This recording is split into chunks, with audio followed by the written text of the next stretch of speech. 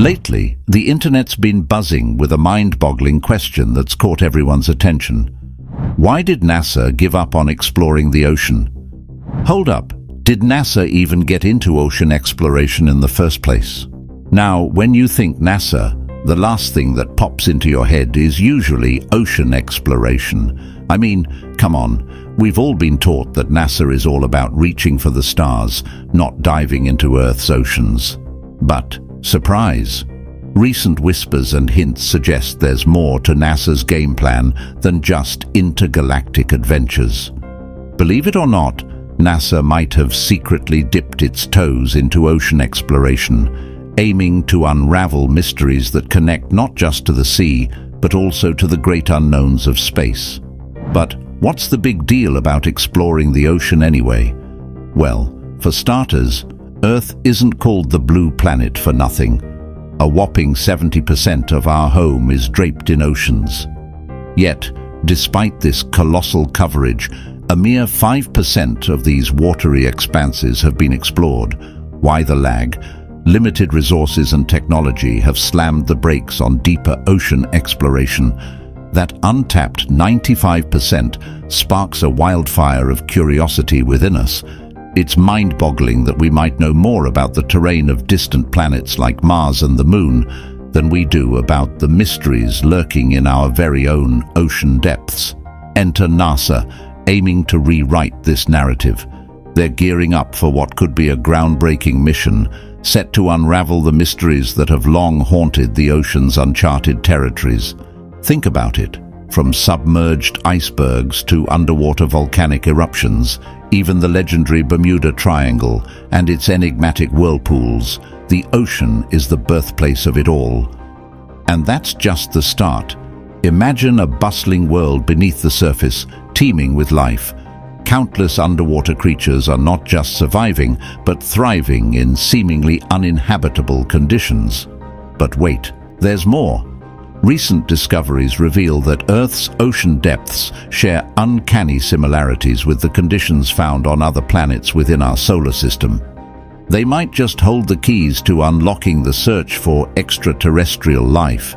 It's like the ocean's depths are a cosmic treasure map, guiding scientists towards potential discoveries beyond our wildest imaginations. Known as the Hadal Zone or the Hadopelagic Zone, this is the ocean's ultimate frontier nestled within its deepest trenches. Named after Hades, the Greek deity ruling the underworld, this area embodies an otherworldly foreboding nature, plummeting a staggering 11 kilometers, 6.8 miles.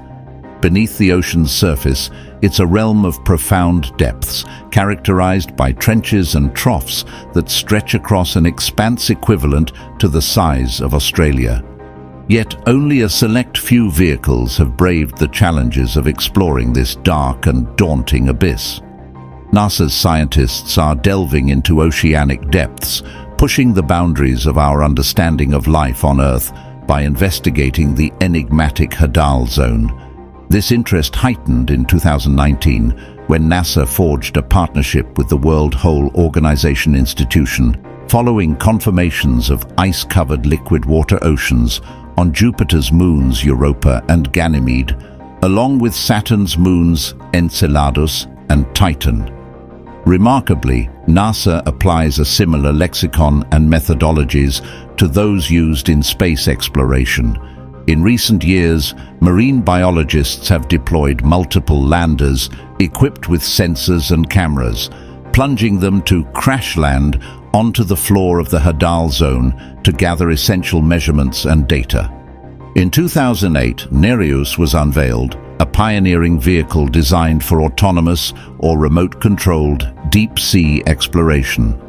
Tragically, in 2014, the Nereus likely imploded due to overwhelming pressure during a trench dive, halting communication seven hours into its planned nine-hour mission. Subsequent debris sightings confirmed its catastrophic fate, marking the end of its operational life.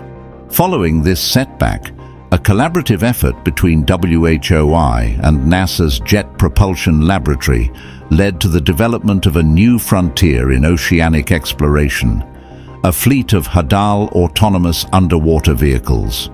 Among them, Orpheus emerged as the successor to the ill-fated Nereus.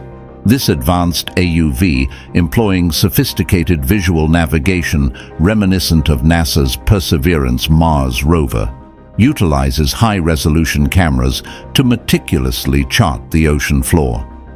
With precision, Orpheus constructs detailed 3D maps teeming with crucial landmarks and seabed features. Engineered to be smaller, lighter and more agile, Orpheus promises unparalleled access to unexplored trenches and vents. Its adaptability, integrated with NASA's cutting-edge software, enables dynamic reconfiguration of mission objectives on the fly. Researchers unearthed astonishing life, thriving in the unfathomable depths of the Hadal Zone. Despite the crushing pressure of 15,000 pounds per square inch, these organisms not only survived but flourished. Their survival perplexed scientists until they discovered piezolytes, enzymes that shield cellular structures from the intense pressure, allowing these creatures to feed on organic matter like animal carcasses, feces and drifting marine snow.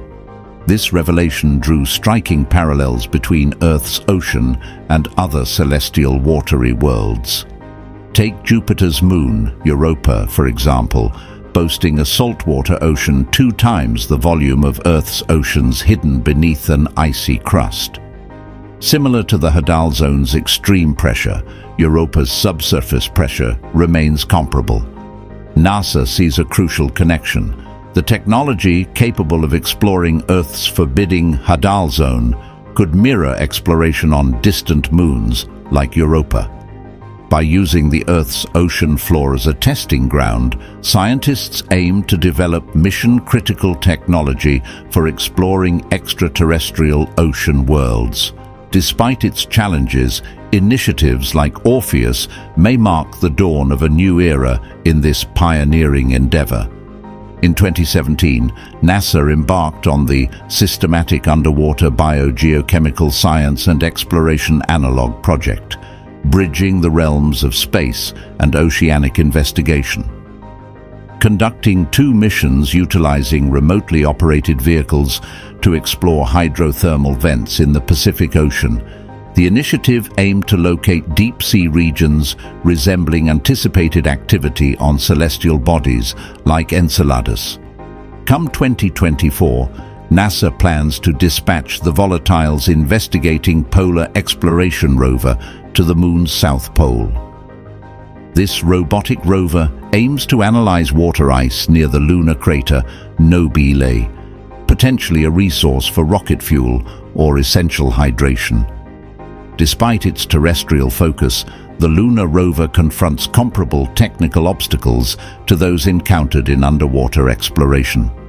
Researchers found parallels between volcanic activity near Hawaii's Loihi Seamount and the Gorda Ridge off the California-Oregon coast, potentially mirroring conditions on Europa and Saturn's moon, Enceladus. The subsea missions contributed invaluable insights into the geology, chemistry and life forms thriving around these vents, aiding scientists in understanding these oceanic phenomena. Studies reveal the Hadal Zone hosts a unique and thriving ecosystem, adapted to endure extreme pressures, frigid temperatures and profound darkness. While future projects may involve sending robots to Europa, and Enceladus, NASA has poised itself to leverage insights from deep ocean exploration for upcoming space missions. Every step in exploring distant worlds grants us insights into Earth's most enigmatic realms. As NASA ventures into uncharted territories, each discovery enriches our understanding of the least explored facets of our home planet. Thank you for joining us on this awe-inspiring journey of exploration and discovery. If you found this voyage through the ocean's depths and beyond fascinating, do hit the like button and subscribe to our channel for more captivating insights that navigate the unexplored territories of Earth and space. Let's remember, each revelation propels us toward a deeper understanding of our place in the universe, unveiling the wonders that lie both above and beneath.